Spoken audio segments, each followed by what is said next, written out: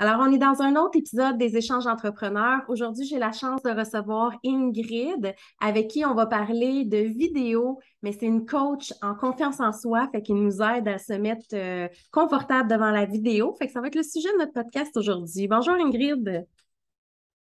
Allô, et merci beaucoup Christelle. Je suis vraiment contente, je suis vraiment excitée. J'ai hâte de partager tout ce que je peux avec euh, les auditeurs et auditrices. Yes, j'aime bien présenter un peu nos invités. J'aimerais ça que tu m'expliques un petit peu ton parcours et qu'est-ce que tu fais.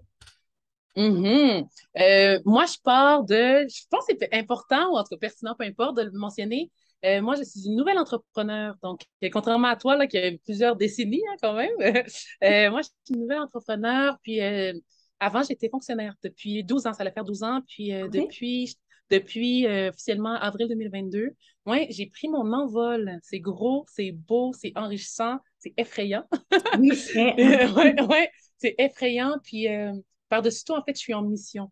Puis ma mission, c'est vraiment d'accompagner l'entrepreneur proactif. Je mets mm-hmm. l'accent sur les femmes parce que jusqu'à présent, ce sont que des femmes, sauf un homme que j'accompagne. Puis mm-hmm. donc, l'entrepreneur proactif qui veut gagner en confiance en aisance devant sa caméra, à elle, qui veut partager son message. Premièrement, le trouver, partager un message avec fluidité et authenticité. Fait que je suis là pour l'accompagner dans tout ça. Fait que je suis vraiment excitée. C'est, c'est enfin ma voix. J'ai trouvé. Yay! Yay! Félicitations parce que sans faire affaire, on s'entend que c'est pas toujours évident. Tu as un choix, tu sais, la stabilité ou euh, tout le reste. Puis je fais une parenthèse par rapport à ça. Tu sais, à un moment donné, j'ai été dans mon chemin de vie où est-ce que j'avais mon agence web. Puis là, je voulais savoir si je me partais à mon compte. Puis je me suis fait euh, une liste. Qu'est-ce qui ferait en sorte que je reviendrais sur le marché du travail avec une entreprise où je reste à mon compte? Et la seule chose que j'avais dans ma colonne, retourner en entreprise, c'était la stabilité. Oh, tout le reste était de l'autre bord. Tous mes points positifs étaient de l'autre bord. Fait que je me suis dit, je plus fort que moi. Fait ah, OK. OK. Puis, attends, attends, attends, là, c'est à mon tour de poser une question. Là. Euh, euh, tu sais, toi, qu'est-ce qui a fait en sorte que, là, tu me dis, la seule chose, c'était justement, bon, tu as décidé d'aller là, c'était la stabilité. Financière, en Mais à ce moment-là, oui, oui, oui, oui, la stabilité financière, mais à ce moment-là, tu étais vraiment aligné vers ce que tu faisais, ça te faisait vibrer, tu l'avais trouvé, tu avais mis le doigt dessus? Oui, oui, tout à fait, tout à fait. Je l'avais trouvé depuis très, très, très longtemps. C'est juste que, tu sais, j'ai tiré la plug sur euh, l'agence pour plein d'autres raisons euh, euh, personnelles. Puis, c'était mon choix. Bon, ben OK, j'avais une associée. Quand on s'est dissocié, ça s'est pas très bien passé non plus. Fait que, tu sais, j'étais dans un cheminement où je me disais, OK, ben là, qu'est-ce que je fais? Mon agence n'existe plus? Est-ce que je continue? De quelle manière? Ça m'a vraiment ça m'a vraiment permis de repenser qu'est-ce que je voulais, mes valeurs. Puis c'est ça, c'est vraiment l'entrepreneuriat pour moi, c'est tellement naturel, cette flexibilité-là, ce, cette relation-là qu'on a avec nos clients aussi, qui est, qui est différente de, en entreprise, ben, j'arrivais pas à le retrouver dans ma petite colonne, retourner en, en entreprise. Fait que c'est ça, j'ai continué, puis euh, Aïe, aïe, aïe. Je pense que c'est euh, une question de génétique aussi, ça a l'air. Ah, OK, OK, c'est intéressant. Tu vois, moi, je viens d'une famille de fonctionnaires. OK. Puis, euh, ouais. Puis moi, j'ai été adoptée bébé. Puis, euh, j'ai été adoptée bébé à sept mois, avec deux parents blancs québécois. Puis, un autre frère aussi qui est adopté. On n'est pas biologique. On a grandi ensemble, donc c'est mon frère. Puis, euh, vraiment la stabilité là, exposant 90. Là, au gouvernement, mes parents aussi, d'un un autre niveau. Là. Moi, j'étais au fédéral, il était au provincial. Puis c'était comme, c'était comme, OK, la pension, les... sais tout est là pour toi, tu n'as plus besoin de te casser la tête. Il y en a beaucoup qui vont dire, moi, je veux pas travailler pour quelqu'un d'autre. Mais moi, ça ça me dérange pas. Dis-moi quoi faire. Hey, it's all good, je vais faire ce que j'ai à faire, puis that's it. Je me pose pas de mm-hmm. questions. Tu comprends ouais, je veux dire? Mais je pense que une fois que tu as trouvé, Christelle, ta mission, là, une fois que c'est là, c'est ancré, euh, c'est ça. Il n'y a, plus d'autres options. Non, exactement. C'est difficile de penser qu'on va être capable de travailler autrement. Tu sais, on ne connaît pas l'avenir. Nos, nos, valeurs changent avec les années aussi, euh, nos désirs, notre réalité. Tu sais, en ce moment, moi, l'entrepreneuriat est parfait parce que j'ai des enfants. On a, tu sais, j'ai une flexibilité que je n'aurais pas nécessairement autre part, mais j'ai d'autres obligations aussi que fait que chaque chose a son pour son compte. Je pense que l'important, c'est de suivre ce qu'on aime, puis d'avoir confiance à ce qu'on fait, d'avoir confiance en soi aussi. ah, yes, yes, yes! Le lien. Puis, Hum, moi, ce que je dirais aussi là, par rapport à ça, parce que on est là pour parler justement aux personnes, ben, aux entrepreneurs en fait, hein, mm-hmm. qui veulent gagner en confiance peut-être. Puis, puis je m'adresse en fait à deux catégories. sais moi, c'est plus l'entrepreneur justement qui veut gagner en confiance en aisance, qui a peut-être mm-hmm. commencé à faire des vidéos, mais plus spécifiquement en fait, qui les publie pas. Oui. Donc, puis si tu les publies déjà, bravo à toi, c'est déjà un très grand pas de franchi. Mais là, vient une stratégie derrière, puis toi aussi, c'est ta mm-hmm. spécialité, là, stratégie marketing, etc. Mais vient une stratégie aussi avec ta vidéo pour chacune de tes vidéos pour chacune des phases de tes vidéos, puis aussi pour chaque, chaque contenu de tes vidéos. Fait que, mm-hmm. tu sais, je m'adresse plus, plus, spécifiquement à celle qui n'a pas encore publié, à la personne qui n'a pas encore publié, à celle qui est apeurée, que moi, j'entends beaucoup, tu sais, qu'on se moque de toi, qu'on te critique, euh, euh, que, que, de bafouer, de ne pas savoir quoi dire, de ne pas savoir comment le dire, euh, sur quel piton peser, parce que ma clientèle, en tout cas, moi, dans mon cas, la technologie, mettons, c'est pas tant son fort. C'est correct, je suis là pour ça aussi. Mais tu sais, c'est vraiment de s'aligner à sa mission. Moi, je reviens toujours à ça à la base. Il y a trois piliers, par, par rapport aux peurs, là, moi, j'ai une phrase que j'adore dire aux clients qui ont peur de publier. Puis toujours, le taux de mortalité de quelqu'un qui a publié un, vidéo, là, il est de 0% fait qu'il peut rien arriver de grave. Oui, ça marche parce que ça fait oui. le monde, puis ils sont comme OK, go, je vais le faire. Oui. Fait que, euh, c'est vrai, les gens, c'est vrai que tu parles de peur puis de croyance parce que, on revient même à la base de tout ça. La vidéo, elle prend tellement de place aujourd'hui, puis c'est une réalité. Puis les gens doivent se mettre de l'avant parce qu'on travaille avec des gens, on n'a pas le choix, tu sais, c'est pas tout le monde, mais quand on veut le faire, il faut qu'on prenne confiance là-dedans aussi. Puis c'est mmh. pas facile, pas facile faire de la vidéo puis de se voir à tous les jours. Là. Puis, puis je sais pas toi aussi, parce que je me souviens une fois dans LinkedIn, tu avais publié tous tes bloopers, mais ben, pas tous, on s'entend, mais comme plusieurs bloopers, j'ai trouvé ça écœurant. Parce que, tu sais, des fois, la personne peut regarder une autre qui est plus à l'aise, en tout cas qu'elle juge être plus à l'aise. Puis là, comme, OK, mais moi, je suis tellement loin. Hein? Comment ça, elle, elle est déjà capable? Genre, je suis tellement loin, moi, de ça. Fait qu'en publiant les bloopers, je trouve que ça rapproche, hein, en coaching, c'est un pied d'égalité, si on peut dire, ou même position d'infériorité, dépendamment euh, j'ai trouvé ça vraiment une bonne idée. Puis euh, moi, ce que je dirais, tu vois, je ne l'ai pas essayé cette phrase-là, je ne la connaissais pas, la vérité, le taux de mortalité. Euh, moi, ce que je remarque, en fait, jusqu'à présent, c'est beaucoup du en fait, c'est du one-on-one parce que la personne a vraiment besoin de, de se faire accompagner. Oui. pour l'instant, en tout cas, c'est ça ma réalité. Puis ça me fait plaisir de l'accompagner. Puis on dirait que des fois, en tout cas, sans doute que c'est la même chose pour toi, des fois, juste d'être dans notre présence, je parle au niveau mm-hmm. de choses, mais tu sais, juste d'être dans notre présence, boum, il y a une confiance qui s'installe de la part de la cliente ou des clients. Et je sens que la structure va être là, que ça va s'éclaircir, puis que je vais faire mes affaires, puis dans mon cas, je vais arriver à peser sur play. Oui, bien, j'ai une bonne comparaison à faire par rapport à ça avec les photographes souvent. Tu sais, c'est mm. les gens, parce que les gens connaissent plus les coachs, bien, les photographes qui vont nous aider, mais un peu moins le côté vidéo qui est, une, qui est, qui est vraiment une belle option que mm. tu offres. Mais c'est vrai que moi, je déteste me faire prendre en photo. Puis, euh, mm-hmm. si je me fais des selfies, c'est correct, je me regarde, je me réajuste, puis tu sais, je, le fais pareil. Mais photo, photographe, je déteste ça. Mais quelqu'un qui va se mettre en mm-hmm. confiance, qui va dire, OK, ben, tu sais, quand mm-hmm. ça, fais place-toi comme ça, ben, on, on, se rend à l'aise. Puis c'est vrai que ça devient plus facile. C'est un peu le même principe à la avec la vidéo. Quand tu es tout seul, des fois, devant une caméra, ça fait peur.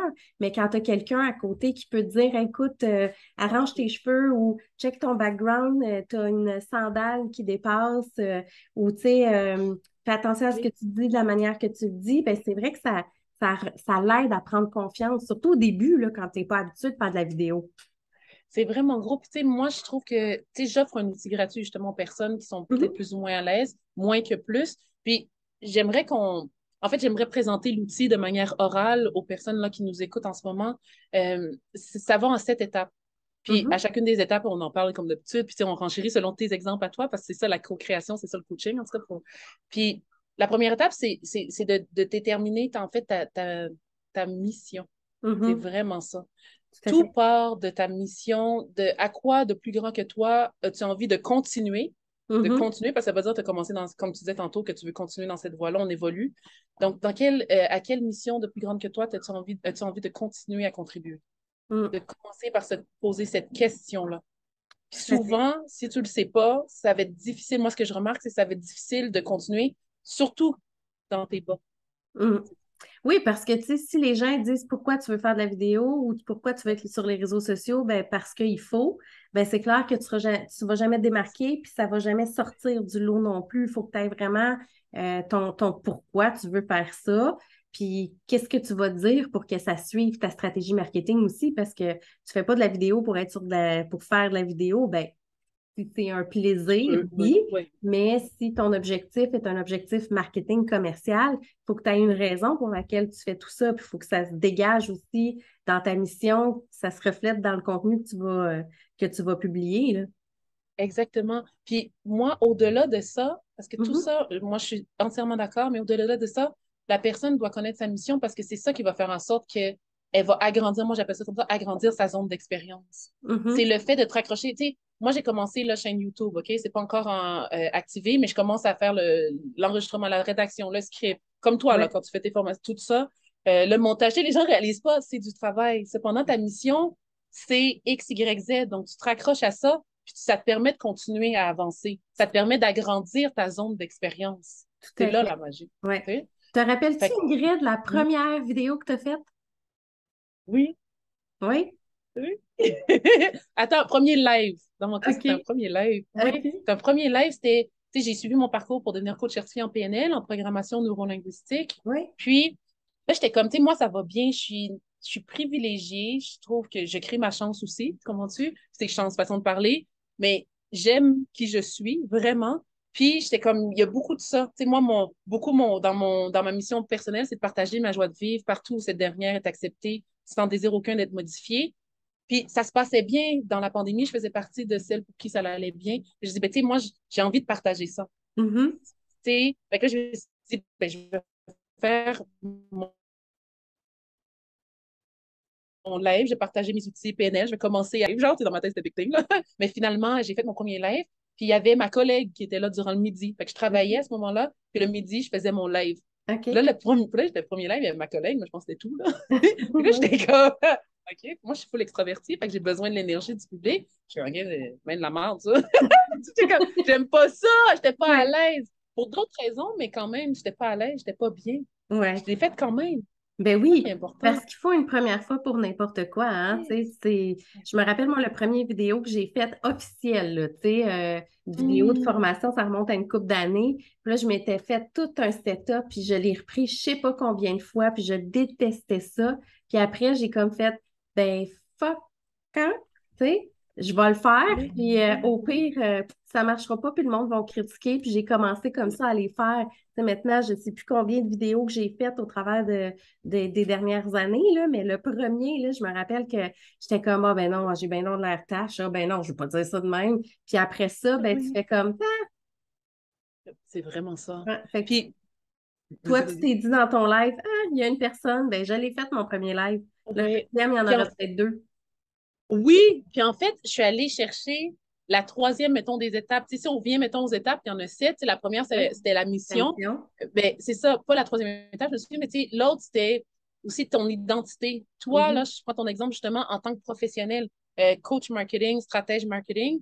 Euh, tu te raccroches à, ta, à ton identité en tant que professionnel tu n'es plus nécessairement la maman, tu n'es plus nécessairement la conjointe. Tu peux mm-hmm. être tout ça à la fois un moment donné. Moi, c'est ce que je souhaite à tout le monde, d'être la même personne dans toutes les sphères de leur vie. Mais peut-être que toi qui écoutes ça en ce moment, puis si ça t'aide, tu te dis, mais quand je fais mes vidéos, je suis la professionnelle dans mon domaine d'expertise. Tu es mm. l'experte. Tu partages ton expertise. Tu augmentes ta crédibilité. Tu donnes envie aux gens de te contacter parce que tu as la solution à leurs problèmes.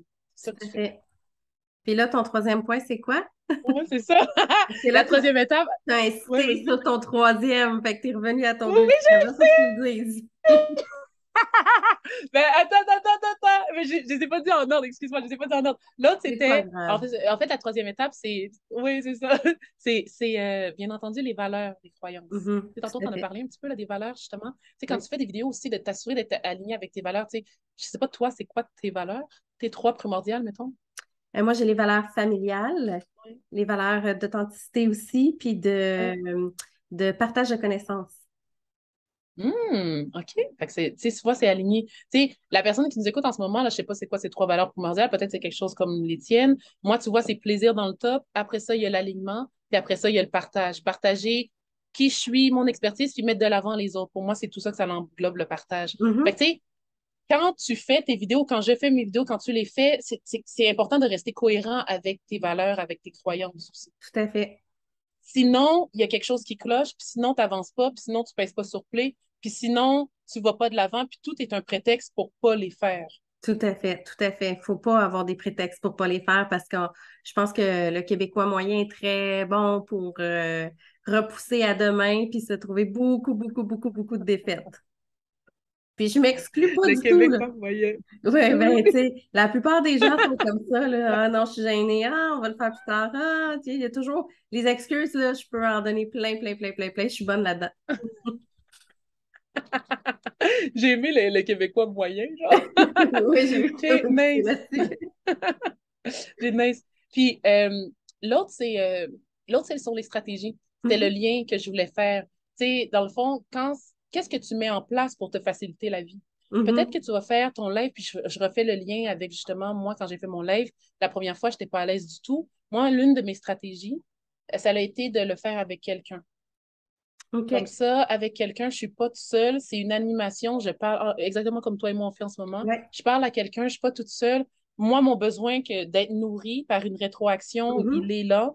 Sais, c'est- puis c'est- moi, je me suis lancée comme d'habitude, je suis un peu comme ça. C'est comme, OK, on part ça en force avec un live. j'aurais pu faire une vidéo comme tout le monde, puis l'effacer, supprimer. Mais tu sais, moi, c'est ça. non. d'aller en force. Exactement. Exactement. on est dans l'action all-in. Fait que, tu sais, partir en force avec un live, c'est pas nécessairement facile. Puis moi, je me sentais pas à l'aise, je me sentais pas en. euh, c'était pas le fun. Tu vois, Ouais. je reviens à la valeur pour moi de plaisir. C'était pas le fun parce que j'avais pas de temps de feedback. Puis après, j'ai appris qu'un live, tant mieux s'il y a de la rétro, mais tu sais, de toute façon, les gens, ils écoutent en rediffusion beaucoup. Oui, C'est ça, la réalité. Tout à fait, tout à fait. Fait que la même chose pour toi, tu sais, les stratégies que tu as mises en place quand tu fais tes vidéos, euh, ça a été quoi? Euh, les stratégies, ben moi, je suis quelqu'un de très spontané, puis c'est quand j'ai une idée. Tu sais, moi, ce que, ce que je fais, c'est ce que je ne conseille pas à mes clients de faire.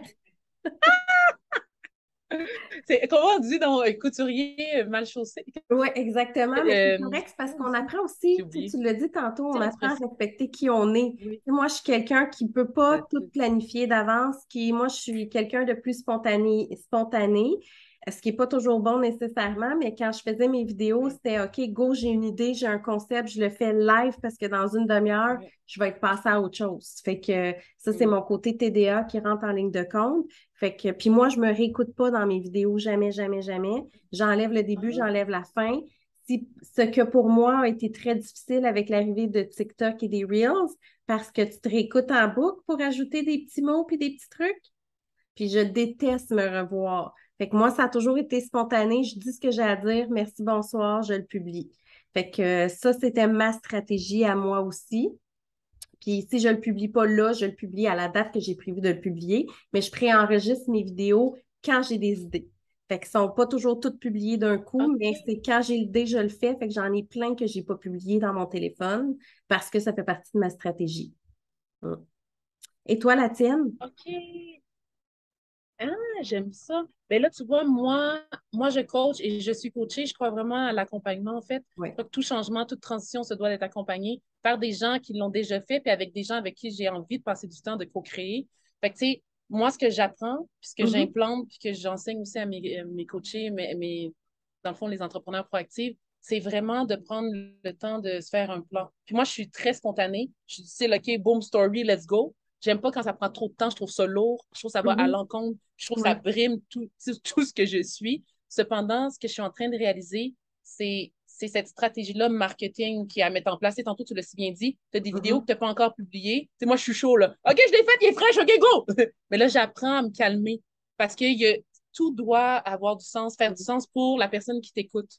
Oui, sais, de tout éplucher l'information en même temps, c'est too much. C'est une surcharge pour la majorité des gens, on s'entend là? C'est une surcharge d'informations. Fait que j'apprends à rédiger ma ligne directrice, Oui. rédiger grosso modo mes points, mes pas euh, mot par mot, mais les idées. Puis même la première vidéo que j'ai enregistrée, que j'ai montée là, pour ma chaîne YouTube, justement, Pèse sur Play, bien, c'est j'ai rédigé tous les mots. J'ai vraiment rédigé le skill au complet. Puis après ça, je suis comme, OK, moi-même, je gagne en confiance, en aisance. Là, je suis comme, Oui. OK, tout d'un coup, boum, j'ai la ligne directrice, let's go, on part. Ben, quand tu connais ton matériel, ça fait toute la différence. Tu t'es à l'aise, puis ça roule. Fait que ça aussi, ça a, ça a son impact. Là.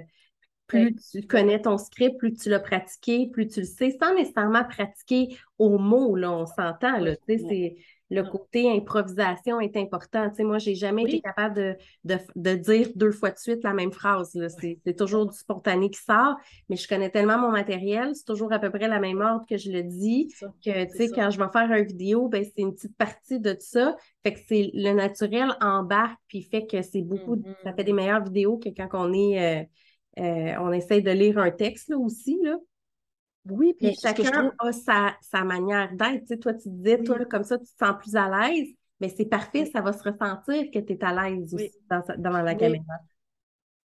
Vraiment, puis, tu sais, moi, j'avais fait quelque chose avec une de mes clientes, justement, puis au début, c'est juste, OK, parle-moi, elle, c'est une experte. Il y a différentes phases. As la phase expertise, as la phase connexion, tu as la phase conversion, parce que c'est ça le nerf de la guerre aussi en entrepreneuriat. Puis, mm-hmm. tu sais, la phase expertise, elle, c'est sa phase à elle dans laquelle elle partage son expertise et dans le domaine de l'esthétique. Puis là, au début, j'étais comme, OK, parle-moi de ton sujet. Non-stop par rapport à son expertise. Elle, c'est peut-être plus la connexion qui est moins présente. Puis, tu sais, en même temps, une fois que ça, c'est clair, une fois que ton expertise est là, tu pars, puis elle, elle est partie. Puis à partir de là, on a créé une structure, tu sais, une fondation qui fonctionne pour elle. C'est ça aussi qui est important, de ne pas dénaturer. Tout à fait. Tout à fait. Oui, parce que tu ne deviens pas quelqu'un d'autre. Tu sais, ça, c'est la beauté du coaching. Tu le dis aussi, c'est que au début, tu pars avec tes idées, tes stratégies, mais après ça, tu regardes l'autre personne, comment qu'elle agit, c'est quoi, qu'est-ce, comment elle est capable, elle, de partager son contenu? Parce que si tu la forces à faire d'une certaine manière, c'est clair qu'elle va le faire deux vidéos pendant que tu es à côté, puis après, elle ne sera jamais capable d'en faire, tu sais.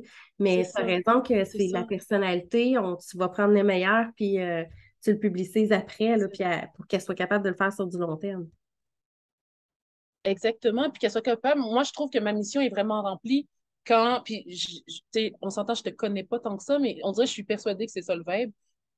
Quand la personne n'a plus besoin de moi, qu'elle a compris comment mettre les choses en place, que, mettons, euh, sa mission est claire, ses objectifs et tout, la première phase, ça, c'est clair. Après ça, on a déconstruit toutes ses peurs, boum, peser sur play, puis après ça, tu t'auto-coaches, tu mm-hmm. t'auto-évalues.